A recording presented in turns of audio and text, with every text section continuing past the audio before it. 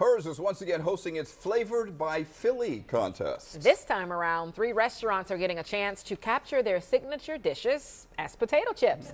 Alicia's here now with a look at the three limited edition Local Eats flavors. Yeah, these are kind of different flavors uh, this time, huh? Yeah, and like, how do you cram them all into a chip? Trust the process. Picture this John's roast pork, Corropolese Bakery's tomato pie, and Mike's Korean barbecue wings. All those flavors bursting out of crunchy chips.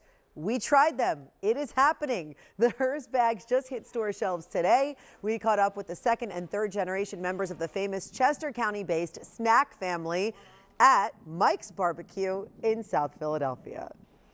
He's got like the best tasting barbecue, one of the best tasting barbecue in our opinion. And we're trying to make a chip that tastes like it for Philadelphia. What do you think, Mike? Did we knock it off? They knocked it out of the park.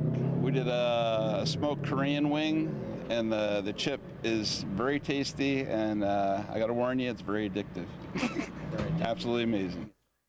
So the Herrs visited all three spots. Corropolese Bakery in Norristown has been making tomato pie since 1924. This chip features their sweet tomato sauce and pecorino romano cheese. John's Roast Pork in South Philly won a James Beard Award for this iconic sandwich back in 2006. You taste every single ingredient in one bite. We tried it. I mean, it really tastes like roast pork. You have until August 8th to vote for your favorite local Eats Philly flavor. The person who nominated the winner gets a $5,000 prize. The small business gets $10,000. There were nearly 1,500 submissions for this one, including pierogi and cannoli. You have my attention, but for now, we vote on these three. So much Philly flavor. There it is Yeah. on a chip. Philly in a bag. Cano- cannoli. He's Okay. interested. I'm in for cannoli. Of course you are. Let us know. All right, thank you.